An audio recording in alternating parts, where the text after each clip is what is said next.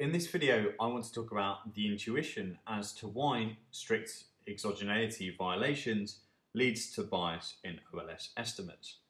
And the first example we're going to talk about here is that of the situation where we have what we call lagged independent variables.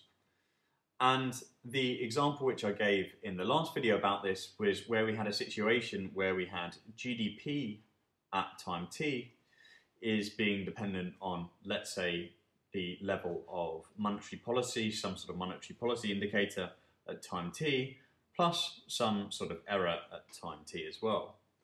And the strict exogeneity assumption in this circumstance requires that the expectation of this error term ut, given monetary policy at any other time s, including the time where s equals t, has to be equal to zero. And we spoke about the problem with the situation with was due to the fact that monetary policy at time t likely has some sort of effect on GDP in the future. And because of that, we can sort of think about this error at time t as containing some sort of monetary policy at time t minus 1. And because of that, we could sort of say that there is going to be some correlation between the error at time t and monetary policy at time t minus 1, and we'd expect them to be positively correlated. And because of that, we actually have a violation of this above condition. And because of that, we know that beta hat OLS will actually be biased. But what's the intuition as to why there is actually this bias? Well, we expect that monetary policy is quite correlated with itself across time. So we expect that monetary policy at time t is highly correlated with monetary policy at period um, t minus 1. So we'd expect again that there would be some sort of positive correlation between these two variables.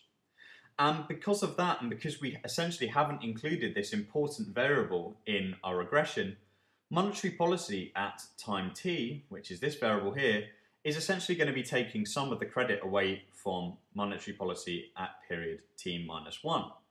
So in this circumstance, we're going to have that this sort of OLS estimates of beta hat, or the value which it outputs, on average is going to be greater than the true parameter beta, because monetary policy at time t is taking some of the credit away from monetary policy at period t minus 1. The second example I want to talk about is what we spoke about as a sort of feed forward situation. And the example I gave here was where we had sort of sales at time t as being determined by the level of spend on advertising at time t plus some error ut.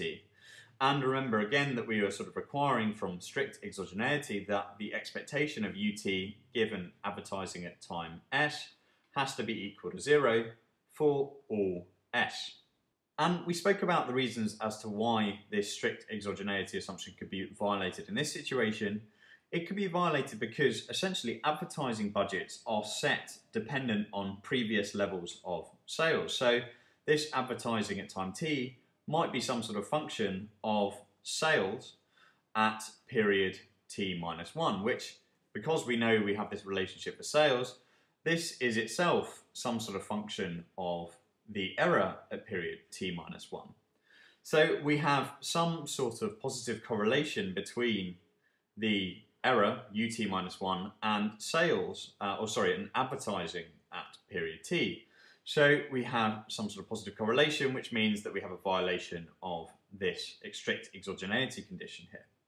But what's the intuition as to why beta hat OLS will not in general equal the true parameter beta? Well, here you can sort of think about advertising at time t is actually really dependent on the level of sales at period t minus 1. And because sales is likely very highly correlated with itself, essentially advertising is going to be doing some of the job of sales. So you can sort of think about it, sales are naturally high and because advertising is set based on those level of sales, it will appear as if advertising will be having more effect than it actually is, and we will conclude that beta hat OLS will actually output a value of the parameter which is more often than not greater than the true parameter beta.